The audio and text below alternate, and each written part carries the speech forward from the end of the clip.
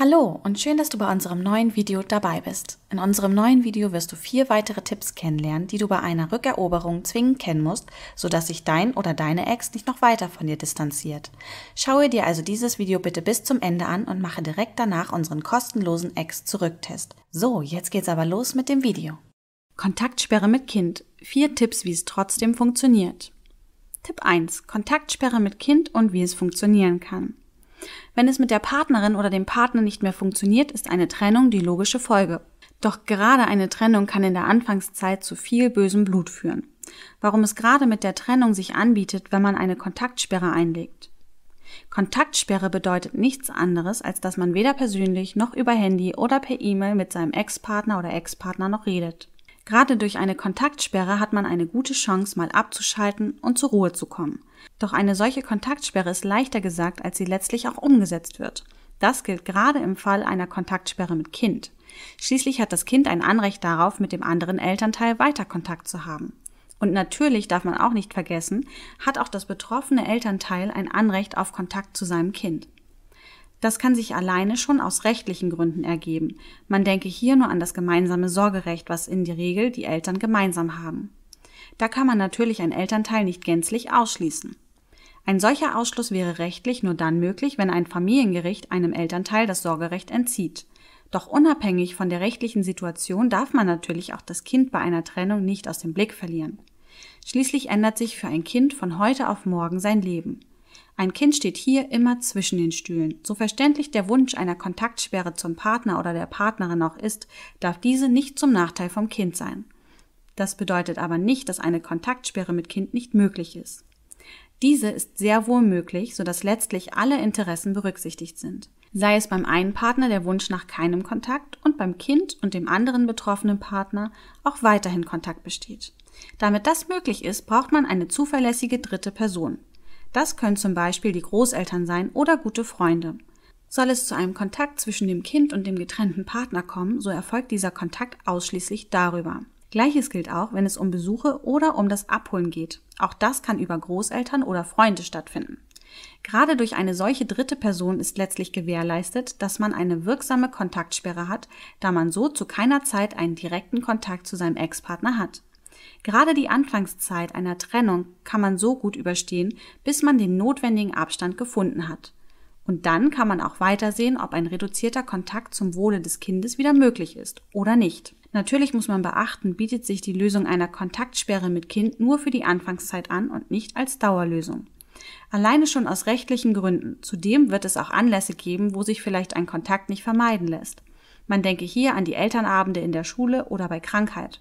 Und hinsichtlich den rechtlichen Gründen, so muss man hier die Elternrechte aus dem Sorgerecht und dem Aufenthaltsrecht bedenken. Beides setzt ein Einvernehmen voraus, da kein Elternteil gegen den Willen des anderen Elternteils entscheiden kann. Das macht eine Kontaktsperre mit Kind auch etwas schwerer, aber nicht unmöglich. Tipp 2. Kontaktsperre mit Kindern. Diese Hilfe kann man bekommen.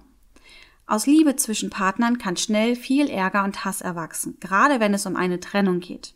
Bei einer Trennung kann es der Fall sein, dass am Ende um alles gestritten wird und es um Schuldzuweisung geht. Möchte man sich das weitgehend ersparen, so ist das mit einer Kontaktsperre möglich.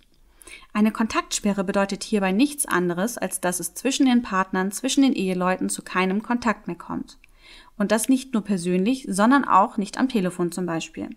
Gerade eine Kontaktsperre nach einer Trennung kann die aufgeladene Situation beruhigen und entschärfen. So gut eine Kontaktsperre ist, problematisch wird es, wenn Kinder vorhanden sind. Gerade dann stellt sich schnell die Frage, ob eine Kontaktsperre mit Kindern möglich ist. Und ja, auch mit Kindern ist eine Kontaktsperre möglich.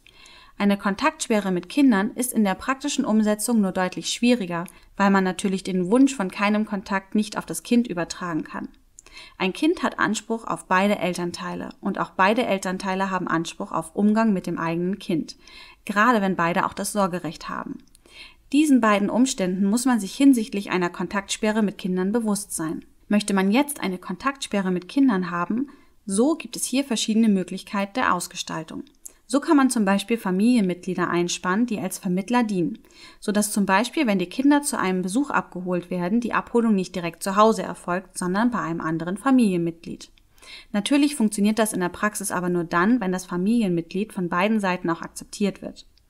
Neben der Akzeptanz von beiden Seiten, die eine zwingende Voraussetzung ist, muss aber auch noch etwas anderes stimmen. So muss hier auch eine gewisse Neutralität und die Akzeptanz der Kontaktsperre vorhanden sein. Es bringt schließlich nichts bei einer Kontaktsperre mit Kindern, wenn man dann stetig vom betreffenden Familienmitglied oder vom Freund erzählt bekommt, dein Ex-Partner hat dies gesagt. Dadurch läuft nämlich der Vorteil einer Kontaktsperre, nämlich dass man von der ganzen Situation Abstand gewinnt, einfach ins Leere, da man sich stetig wieder von neuem wieder mit seinem Ex-Partner beschäftigt, obwohl man das gar nicht haben möchte. Gerade aufgrund von diesem Umstand sollte man ein Familienmitglied oder eine Freundin, einen Freund auch sehr bedacht auswählen, wenn es um eine Kontaktsperre mit Kindern geht. Natürlich muss es nicht unbedingt Familienmitglieder sein, es kann auch eine gemeinsame Freundin oder ein Freund sein. Und hat man das nicht, oder kann man sich darauf nicht verständigen, so bietet sich hier im Zweifelsfall auch behördliche Hilfe an, wie zum Beispiel vom Jugendamt. Gerade bei einer gewünschten Kontaktsperre mit Kindern können Treffen auch durch die Organisation vom Jugendamt sich anbieten. Der große Vorteil vom Jugendamt ist natürlich, dass man hier eine sehr neutrale dritte Person hat. Anders als es vielleicht bei einem Familienmitglied oder bei einem Freund oder einer Freundin der Fall sein kann. Zudem hat das Jugendamt noch einen anderen Vorteil. Über das Jugendamt kann man nämlich dauerhaft die Fragen vom Sorgerecht, vom Umgang und zu welchen Zeiten regeln. Auch hier kann das Jugendamt wieder die Position eines Vermittlers zwischen den ehemaligen Partnern oder Eheleuten einnehmen. Und das ohne weiterhin Kontakt zu seinem Ex noch haben zu müssen. Denn schließlich muss eine Kontaktsperre mit Kindern dauerhaft geregelt sein, gerade auch in rechtlicher Hinsicht. Durch eine Trennung oder durch eine Scheidung verlieren schließlich die Rechte aus dem Sorgerecht ihre Gültigkeit nicht. Tipp 3. Kontaktsperre mit Kind. Vorsicht bei den Folgen. Kein Kontakt mehr. Das ist oftmals der Wunsch bei einer Trennung. Kompliziert wird die Umsetzung von diesem Wunsch immer aber dann, wenn Kinder vorhanden sind. Eine Kontaktsperre mit Kind oder auch bei mehreren Kindern ist möglich. Doch anders als wenn man alleine wäre, muss man bei einer Kontaktsperre mit Kindern wesentlich mehr bedenken. Sind nämlich Kinder vorhanden, geht es nicht nur um den eigenen Wunsch. Auch Kinder haben vielleicht Wünsche und diese können gerade was den Umgang mit beiden Elternteilen betrifft ganz andere sein. Grundsätzlich muss man immer bedenken, dass eine Trennung für ein Kind keine leichte Situation ist. Das gilt umso mehr, je älter das Kind ist und die Trennung wahrnimmt. Ein Kind wird sich hier in der Regel immer zwischen den Stühlen befinden, schließlich liebt es beide Elternteile. Und gerade das sollte man bei seinem Wunsch einer Kontaktsperre mit Kindern immer berücksichtigen. Bei allem Wunsch nach Abbruch vom Kontakt, zumal man hier immer auch sehen muss, eine Kontaktsperre mit Kindern kann eine Situation auch deutlich verschlimmern. Das gilt gerade dann, wenn man als Elternteil die Rechte vom anderen Elternteil eigenmächtig beschneiden möchte. Weil, was ist dann die Folge? Die Folge wird in der Regel sein, dass die Wut und die Aktion vom betroffenen Elternteil weiter zunehmen und im schlimmsten Fall es dann zu Rechtsstreitigkeiten vor einem Familiengericht kommt. Und das alles ist immer mit den Konsequenz verbunden, dass das Ziel einer Kontaktsperre mit Kindern immer weiter in die Ferne rückt.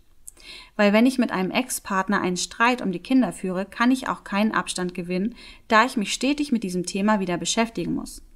Wenn man daher eine Kontaktsperre mit Kind haben möchte, so muss man dieses von Anfang an richtig anpacken. Und dazu gehört, dass man zu seinem Ex-Partner keinen Kontakt mehr haben möchte, dieses aber zum Beispiel keinen Einfluss auf die Kinder haben wird. Untrennbar damit verbunden ist dann auch eine Regelung, wann das Kind oder die Kinder abgeholt werden. Das schließt die Dauer vom Abholen und die Häufigkeit genauso mit ein wie den Ort vom Abholen und Bringen. Möchte man hier einen Streit vermeiden, muss man hier auch bereit zu Zugeständnissen gegenüber seinem Ex-Partner bereit sein. Solche Zugeständnisse kann es zum Beispiel bei der Häufigkeit vom Abholen geben. Sonst wird eine Kontaktsperre mit Kind letztlich nicht funktionieren, da es dann nur Streit gibt. Beim Ort vom Abholen und Bringen vom Kind können natürlich Verwandte oder Freunde hilfreich sein, da diese hier als eine Art Vermittler zwischen den beiden Eltern dienen können. Ist das Kind schon älter, kann eine solche Regelung auch entbehrlich sein, wenn das Kind schon selbstständig sich auf dem Weg zum anderen Elternteil machen kann. Gerade durch eine solche Regelung hat man eine wirksame Kontaktsperre mit Kind, aber die Interessen vom Kind werden weiter berücksichtigt und ein Weiterleben, eine Rückkehr in eine neue Normalität ist für alle Seiten möglich, ohne dass das Kind hierbei einen Schaden nehmen kann. Tipp 4. Kontaktsperre mit Kindern und wie es geht. Trennungen können einen sehr belasten und auch schnell schmutzig werden, gerade wenn es zu Streitigkeiten kommt. Möchte man sich davor schützen, so bietet sich eine Kontaktsperre an. Eine solche Kontaktsperre kann man notfalls auch über den Gerichtsweg durchsetzen, gerade wenn die Streitigkeiten auch in Gewalt oder in Bedrohung umschlagen. Kompliziert wird eine Kontaktsperre immer dann, wenn ein Kind oder sogar mehrere Kinder vorhanden sind. Eins vorweg, eine Kontaktsperre mit Kind ist möglich. Möglich ist diese, wenn man zum Beispiel mit seinem Ex zu einer einvernehmlichen Lösung kommt, was den Umgang mit dem Kind oder den Kindern betrifft. Ist das nicht möglich oder möchte man es aufgrund von guten Gründen, wie zum Beispiel wegen Gewalt nicht, so muss man den Rechtsweg bestreiten.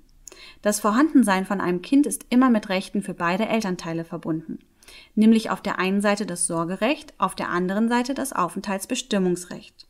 Kann man sich jetzt nicht verständigen, so muss man Klage vor dem Familiengericht erheben. In einem solchen Fall wird dann ein Familiengericht entscheiden, wie die Regelung zum Sorgerecht und zum Aufenthaltsbestimmungsrecht der Kinder ist. Hierbei werden die Kinder auch selber angehört, je nachdem wie alt sie sind. Liegen gravierende Gründe wie zum Beispiel Gewalt vor, so kann dieses dazu führen, dass ein Gericht die Rechte entzieht. Es kann aber auch den Fall geben, dass das Familiengericht eine Besuchsregelung trifft. Eine solche Besuchsregelung kann je nach Ausgestaltung auch sein, dass der Kontakt und die Treffen ausschließlich über das zuständige Jugendamt laufen. Wie man sehen kann, ist eine Kontaktsperre mit Kind gar nicht so einfach in der Praxis umzusetzen. Und sollte es zu einem Rechtsstreit vor einem Familiengericht kommen, muss man natürlich immer bedenken, dass ein solches Verfahren in der Regel einige Monate in Anspruch nimmt und man hier meist keine Regelung innerhalb von wenigen Tagen hat, außer es liegen dafür sehr wichtige Gründe vor, die eine Eilentscheidung von einem Gericht erlaubt. Gerade deshalb bietet sich ein solches Verfahren auch nicht wirklich an, wenn es um eine Kontaktsperre mit Kind geht. Schließlich würde ein Verfahren zu nichts anderem führen, als dass man auch weiterhin sich stetig mit seinem Ex-Partner auseinandersetzen muss. Und damit geht der Streit und das Grübeln weiter. Man kann keinen Abschluss finden. Man kann daher jedem Ex-Partner, der eine Kontaktsperre mit Kindern haben möchte, auch nur empfehlen, eine möglichst einvernehmliche Lösung zu finden. Wenn man hier mit seinem Ex-Partner nicht mehr reden kann oder möchte, kann man natürlich durch Freunde oder Familienmitglieder versuchen, eine einvernehmliche Lösung für beide Seiten zu finden. Mit einer einvernehmlichen Lösung bekommt man nicht nur wesentlich schneller die gewünschte Kontaktsperre mit Kind, sondern vor allem kann man sich Ärger ersparen und vermeiden, dass das Kind zu einem Spielball zwischen den Eltern wird.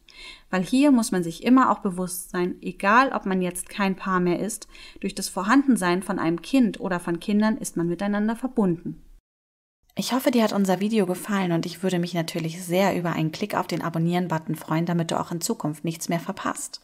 Denke bitte auch an unseren kostenlosen Ex-Zurück-Test, dessen Link du unterhalb dieses Videos findest. Nach diesem Test können wir dir individuelle Strategien und Techniken an die Hand geben und deinen Erfolg auf eine Rückeroberung mehr als verdoppeln.